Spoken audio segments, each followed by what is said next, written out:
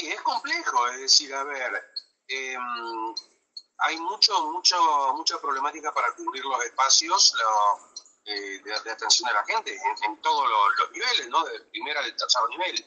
Pero hay gente que se está ya está renunciando, se está yendo, solamente entre finales de la semana pasada y, y, este, y principio de esta, eh, renunciaron tres profesionales de la Guardia de la Lacia.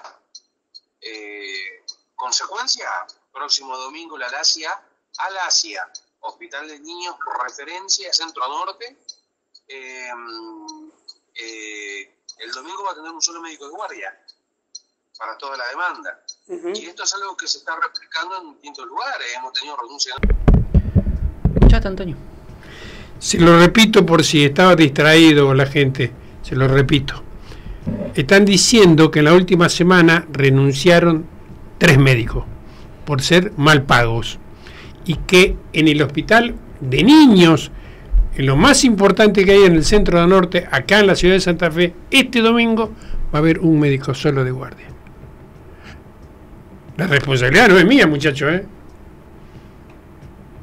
Yo he hablado con María Marta Brandolini, una pediatra de altísimo nivel acá en la provincia, especializada también en neatología, se dice.